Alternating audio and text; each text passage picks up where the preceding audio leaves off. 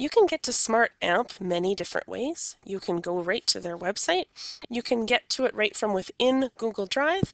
And of course, you can just click Sign in with Google right here from the Gallery in Notebook. When we click Sign in with Google, every student and teacher has a Google account with Sask Rivers. So I just push the little Sign in with Google button and I choose my account or add my account. I'm already signed in here, so I'm just going to choose my account and it goes right to the smartamp.com website. Here, you can see what SMART is by simply going to a workspace. A workspace is one SMART-AMP file.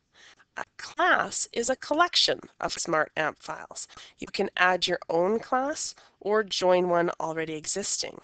To join an existing class, you can enter a code a teacher gives you or click on the class if it appears up at the top. First, I'll show you what a simple workspace is. When you open Workspaces, it shows you all the previously created ones in your Google Drive, or you can simply create a workspace.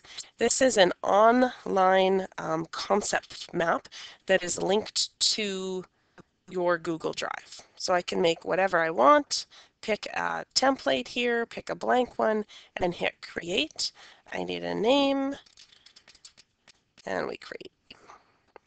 It pops up and what's great about this is it can be collaborative. Uh, any kids in the class can join. You can create one and have kids walk through them afterwards. And there's a whole bunch of tools on the side. So just so that you know what a workspace is, um, there's another video on how to use all the tools in Workspace.